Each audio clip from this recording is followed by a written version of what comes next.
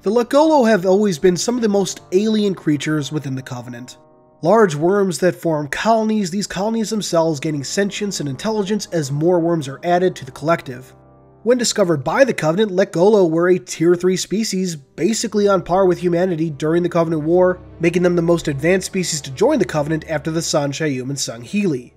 Many fans have wanted to see these strange creatures fleshed out more, and with the latest Halo Wars 2 leader, we get what are hopefully the first steps towards learning more about them. Among the Banished is a Mgalekgolo pair that refers to itself as Colony. Sporting unique armor, Colony seems to be a representative for the Lekgolo to the Banished, directing all Lekgolo activities on the Ark. While it defers to Atriox and Atriox alone, Colony is known to undertake its own missions, often without informing other Banished leadership. Currently, its attention is focused on the resting place of the Forerunner keyships that once reseeded the galaxy. While we can only speculate on what Colony might be doing, I'm personally inclined to believe that it might have something to do with Mendicant Bias. A fragment of the contender was once housed in a keyship, and it was Lekgolo worms that allowed the San'Shyuum to further unlock the secrets of the Forerunner Dreadnought that once powered High Charity. Like any commander, Colony must issue orders to its troops on the battlefield.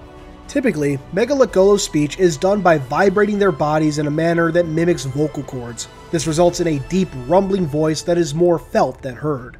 Presumably for the sake of ease, Colony uses a special banished translator to issue orders. When Colony takes command of the battlefield, it utilizes large numbers of Lekgolo controlled constructs, including units and abilities rarely or never seen during the Covenant War. The first of these is the Goliath. When Mgalekgolo colonies grow too large, they split into two smaller but linked colonies referred to as Bond Brothers. A Goliath is what happens when these two mini colonies become one, a massive wall of flesh and metal able to take and dish out huge levels of damage. The Goliath form does have its drawbacks, however, as the form requires massive amounts of nutrients to sustain, and thus is only seen during dire circumstances, often among feral Lekgolo. Colony, however, seems to be able to coerce Hunter Gestalts into the form at will. Next up is the Hunter Captain. These up-armored hunters are linked directly to Colony and its distant bond brother via a specially modified BattleNet relay. For context, the spines on the back of hunters are typically used for communication between bond brothers. Equipped with siphon beams, captains can drain enemy units of health. When a situation calls for it, they'll taunt enemy units to draw attention away from other units. When a hunter captain is on the battlefield, one can be sure that all Lekgolo Gestalts are operating at full efficiency. After that, we have Skitterers. These tiny machines are driven by smaller Lekgolo colonies. They saw limited use during the Covenant War due to the abhorrent nature of the mini Gestalts. Colony has since perfected these forms, allowing it to deploy Skitterers in large numbers during battles on the Ark. These machines can attach themselves to other units, providing additional firepower and healing. Something unique to Colony is its rapport with the engineers that the Banished work with. Born from this favorable relationship are a unique form of vehicle barrier that contain Lekgolo clusters. These both allow Colony to block enemy movement and increase its battlefield awareness. Sadly, these clusters are left with a greatly reduced lifespan.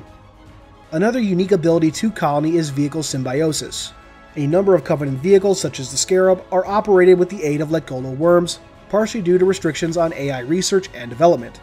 Colony can take this further, calling forth swarms of worms to permanently increase vehicle armor and weapon range.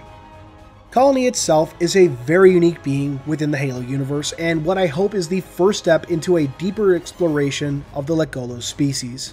What the Lekgolo want in general is unknown to say the least, and their culture remains largely a mystery. Hopefully that can change in the near future. Hey guys, thanks for watching. If you liked this video, please consider giving it a thumbs up, subscribing, and sharing it around. You are the reason I get to keep doing this, so thank you, profusely thank you.